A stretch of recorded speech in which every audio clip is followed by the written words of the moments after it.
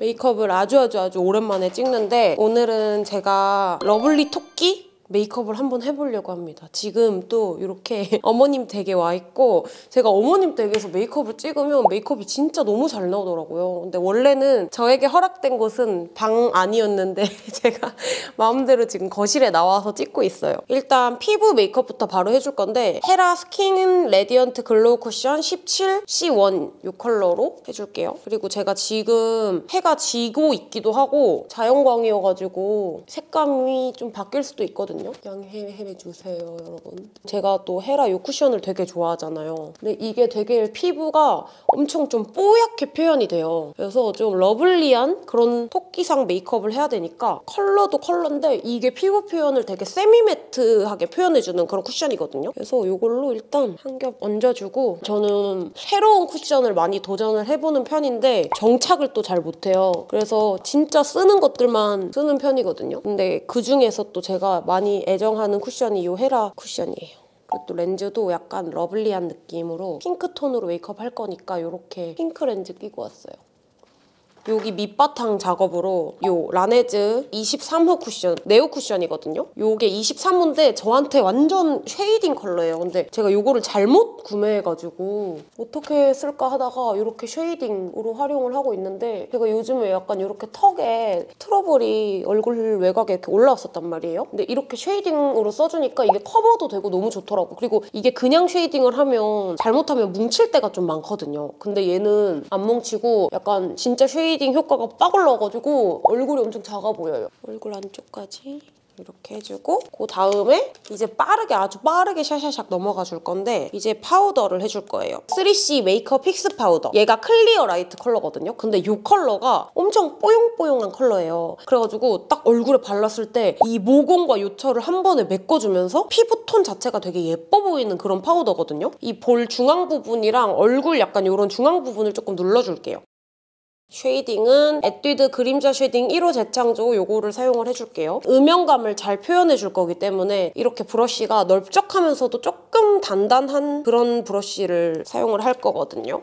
일단 여기에 음영 잡아주고 여기 코 부분을 끝에를 좀 이렇게 강조를 해줄 거예요. 그리고 이 옆부분은 살짝 남은 양으로만 이렇게 쓸어서 해주고 제일 중요한 거 조금 진한 컬러를 묻혀가지고 이 부분 이 부분을 좀 강조를 해줄 거예요. 인중 부분을 이렇게 이어서 그리고 입술도 턱 튀어나오게 해주고 입꼬리도 음영이 제일 중요한 것 같아. 이 토끼상 메이크업은. 왜냐면 제가 토끼상이 아니잖아요. 그래서 토끼상처럼 보이는 게 중요한데 이게 음영만 이렇게 잘해줘도 토끼상처럼 좀 보이거든요. 지금 조금 그렇게 보이죠? 그래서 이렇게 shading 해줬으면 아까 전에 턱 shading을 쿠션으로 해줬지만 한 번 더 묻혀가지고 파우더로 덮어주는 것처럼 한 번 더 이렇게 shading을 해줄게요. 얼굴이 더 얄쌍해 보일 수 있게 이렇게 해줍니다. 그리고 제가 원래 스틱 concealer를 가지고 왔었는데 못 갖고 와서 이 노베브 under eye master 이걸로 이 코 주변에 약간 색소 침착된 부분이 있어요. 이 부분을 살짝 가려줄게요. 근데 그 더샘 concealer가 matte한 concealer라서 커버가 더 잘 되기는 하는데 얘도 커버력이 정말 나쁘지 않거든요. 그래서 이렇게 커버할 부분들을 살짝 커버를 해줍니다. 이렇게 살짝만 눌러주고 이렇게 해줬으면 눈썹을 그려줄 건데 제가 또 눈썹이 밝아졌잖아요. 그래서 딱 맞는 eyebrow를 찾았어요. 이 Benefit Brow My Brow pencil 2호 이게 딱 제 이 모발 컬러랑 완전 딱 잘 맞더라고요. 그래서 이걸로 눈썹을 또 호다닥 그려줄 건데 또 눈썹에 막 딱히 포인트가 있는 건 아니지만 그나마 포인트가 있다면 토끼상의 이목구비에 조금 집중을 해야 되다 보니까 눈썹을 막 진하게 그려주진 않을 거예요. 그냥 내 눈썹이 원래 나 있는 것처럼 이 정도로 얇게 그려줄게요. 그리고 약간 포인트가 있다면 눈썹을 앞머리 부분을 너무 앞으로 안 가지고 오고 있어요. 왜냐면 이게 눈썹의 앞머리의 위치에서도 약간 인상이 조금 바뀌거든요. 그래서 얘로는 앞머리로 안 가지고 오고 그냥 딱 이렇게 자연스럽게 그라데이션 되는 정도로만 그리고 이제 shadow를 본격적으로 해줄 건데 원래 약간 좀 warm한 느낌의 메이크업만 했었잖아요. 근데 오랜만에 제가 아주 요 핑크핑크한 요 팔레트를 가지고 왔어요. 이거는 릴리바이레드 Mood Keyboard 4호 Cool Membership. 약간 cool한 느낌의 핑크톤 그런 느낌의 팔레트거든요. 근데 얘가 너무 예쁘더라고요. 그래서 오늘 좀 pinky pinky한 느낌의 메이크업을 할 거여가지고 요거를 가지고 왔습니다. 배 요거 스트로베리라는 컬러가 있는데 완전 살짝의 핑크기가 들어간 컬러거든요. 그래서 요걸로 바로 눈에 베이스를 깔아주고 약간 토끼상 하면은 아이라인을 진짜 거의 안 빼고 이 눈이 약간 위쪽으로 좀 뽀용하고 큰 듯한 그런 느낌이잖아요. 그래서 눈 위쪽을 최대한 밝혀줄 거예요. 이 뒤쪽은 음영 들어가 줄 거고 앞쪽도 이렇게 베이스를 깔아준다는 느낌으로 그 바로 옆에 있는 If You Pink 이걸로 눈두덩이 전체에 깔아줄게요.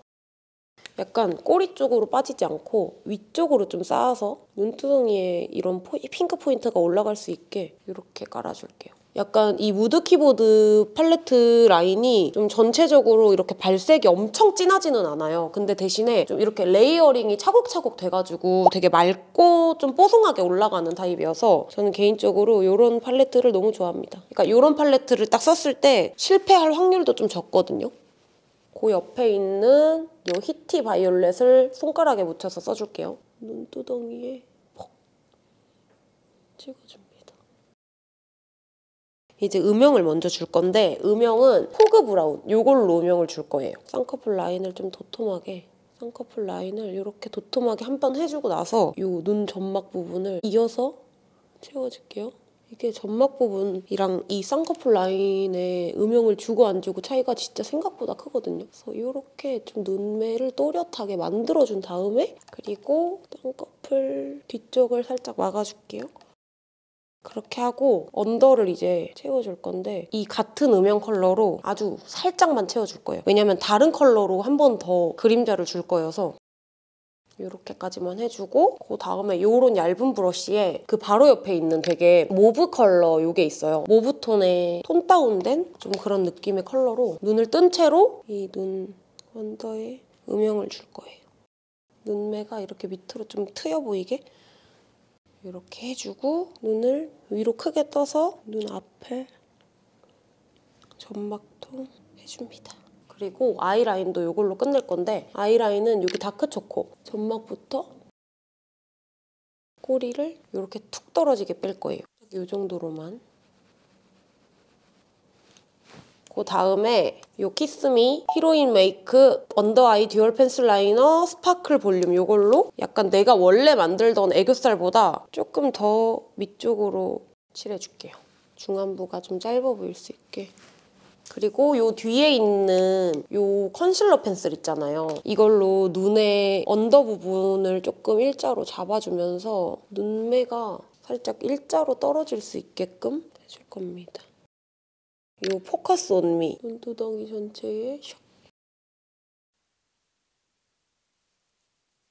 이렇게 해주고 에뛰드 컬픽스 마스카라 브라운 컬러 이걸로 마스카라를 해줄게요. 지금 속눈썹을 원래 펌을 했었는데 한 지 꽤 됐거든요. 그래가지고 할 때가 다 되어가요. 지금 뿌리가 자라가지고 속눈썹이 꺾이고 있어. 이렇게 브라운 컬러 속눈썹을 써가지고 눈이 동그랗게 강조되어 보일 수 있게 근데 조금 너무 과하지 않게 마스카라를 해주고 속눈썹을 포인트로 몇 가닥만 붙여줄 거예요. 셀프 천사 브라운 트윙클 A형이고 얘는 8, 9, 10mm로 되어 있거든요. 근데 저는 여기서 오늘 요 10mm짜리로 그냥 한 3, 4가닥 정도만 붙여줄 거예요. 여기서도 포인트가 굳이 있다면 눈 전체적으로 길어지게끔 붙여주는 게 아니라 눈이 위쪽으로 뿅뿅뿅 올라와 보일 수 있게 해주는 게 포인트예요.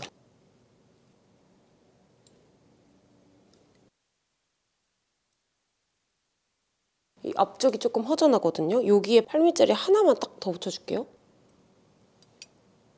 이렇게 이게 손에 익으면 진짜 빨리 되는데 좀 손에 안 익으면 단순 노동처럼 이것만 해줘야 돼요. 근데 저는 아직 손에 덜 익어가지고 그래도 좀 해버릇 하니까 확실히 빨라지긴 하더라고요. 연습만이 살 길이에요. 정말 처음부터 얘를 잘 붙일 순 없고 그래도 얘가 비교적 좀 붙이기 쉬운 편이에요. 그래서 점막 에 이제 콕콕콕 찍는 속눈썹보다는 확실히 얘가 좀 쉬워요. 속눈썹을 붙여줬으면 어뮤즈의 립 스머저 요거 복숭아 컬러를 사용을 해줄 건데 이걸로는 눈 밑에 있잖아요. 애교살 바로 위에 있는 요 점막이랑 이렇게 만들어주고 눈시울이 붉은 것처럼 이렇게 해주고 입술에도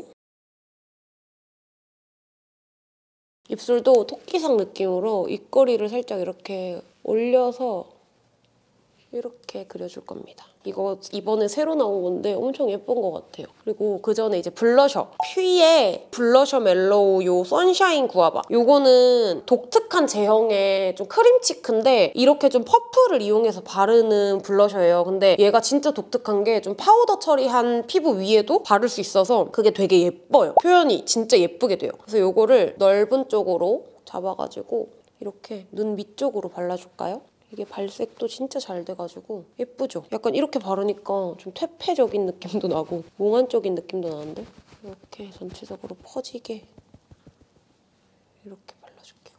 이게 한쪽에 뭉치지 않게 이런 식으로 이걸로 이렇게 입술 외곽도 릴리바이레드의 스타리 아이즈 9 to 9 젤 아이라이너 이번에 seeding 받을 때 들어있던 건데 너무 귀엽지 않아요? 그래서 이걸로 이렇게 조금 더 눈밑이 트여 보일 수 있게 딱 이 중앙에만 발라줄게요. 너무 앞으로 가지도 않고 딱 중앙에만 이렇게 이렇게 하고 한 번 더 쉐이딩 브러쉬를 묻혀주고 이걸로 한 번 더 이 입술 라인을 조금 강조를 해줄게요.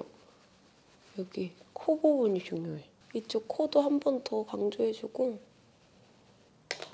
음, 토끼 같아. 페리페라 잉크무드 글로이밤 핑크빛 영화제. 이걸로 일단 베이스를 먼저 깔아줄 건데 얘는 약간 립밤 같은 느낌으로 발리거든요. 근데 엄청 진짜 발색이 진짜 잘 되고 제가 써봤던 이런 밤 형태의 틴트 중에서 가장 안 물러지고 되게 발색이 잘 되면서 지속력이 좋은 그런 밤이에요. 왜냐면 제가 다른 약간 glossy한 밤들을 써봤는데 너무 뭉개지는 느낌이 싫어가지고 입술에 막 못 바르겠더라고요. 근데 얘는 진짜 glossy한 느낌도 나면서 나면서 발색이 좀 균일하게 잘 되는 이게 립밤인 것 같은데 약간 glossy 틴트 같은 느낌? 이렇게 전체적으로 한번 발라주고 조금 더 진한 느낌의 이 틴트로 얘는 어뮤즈 이번에 새로 나온 틴트거든요. 진짜 귀엽죠? 이거 제가 너무 써보고 싶었던 틴트인데 어뮤즈 젤핏 틴트 장미우유 4호 이거가 지금 제가 바른 것보다 톤은 비슷한데 조금 더 진한 컬러감 그래서 얘로는 이렇게 이런 느낌으로 딱 이 느낌으로 음영감이 들어가게 그래서 은캉 가리 알고 흐느러 발라주면 됩니다. 하이라이터는 아주 아주 초라한 저의 사킷과 개발 중인 이 블러셔의 샘플. 이게 하이라이터가 제가 써본 것 중에서 제일 발색이 좀 자연스럽고 좀 진짜 내 콧대가 살아나는 것처럼 그렇게 표현이 돼서 저는 이렇게 들고 다니면서 써요. 콧대가 진짜 살아나요. 보세요. 이렇게 끝에 콧망울 쪽. 음, 너무 예쁜데? 이렇게 해주면 메이크업 끝! 저는 이제 스타일링하고 옷까지 입고 와주도록 하겠습니다. 여러분 이렇게 옷을 입어줬고 약간 이런 귀여운 헤어핀이랑 약간 토끼 같은 느낌? 옷도 이렇게 입어줬어요. 너무너무 예쁘죠? 시어머니 앞에서 야시구리하게 입고 있어요. 어쨌든 이렇게 완성해줬으니까 이제 메이크업 마무리하도록 할게요. 안녕!